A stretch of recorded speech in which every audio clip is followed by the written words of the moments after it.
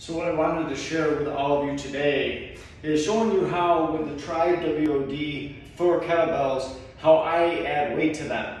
So you may think that I'm limited to a 25 pound kettlebell right here, but I actually am able to modify the weight on these either one at a time or two at a time by using my PlateMate magnetic plates. Each one of these is one and a quarter pounds. So if I wanted to increase the weight on this from 25 to 26.25, I could just slap one on the side.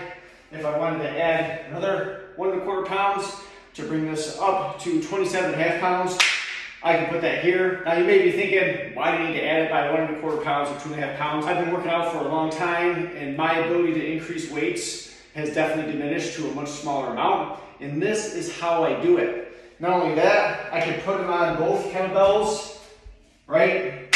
So if I wanted to use them on two different, uh, two different kettlebells, I can do that. And then on this large 70 pounder, not that I gotta increase that by much usually very often, because it's already darn heavy as it is, I can just slap my side. And there's actually room for me to be able to put all four of my PlateMates on this kettlebell. It's just one simple way to continue to find different ways to use the stuff in your home gym to continue to progress.